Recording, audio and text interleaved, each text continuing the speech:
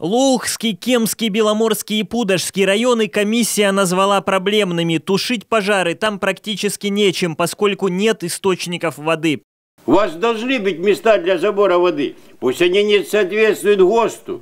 Будем разбирать. Но есть место, в случае чего подъехать, забрать воду. Зимой там должно быть почищено подъезд. Второе сделал э, прорубь для того, чтобы не замерзало постоянно.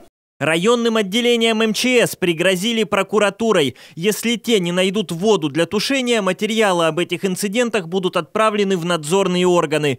В лесных населенных пунктах сотрудники МЧС предложили тушить пожары добровольцам и создать институт внештатных инспекторов лесной охраны. К маю 2016 года планируется собрать отряд местных жителей, которые будут бороться с огнем наравне с пожарно-спасательными отрядами. Образовательные учреждения населения республики тоже не соблюдают технику безопасности. В ходе 516 проверок было выявлено 379 нарушений. В этом году на их исправление выделили 2 миллиона рублей из бюджета республики.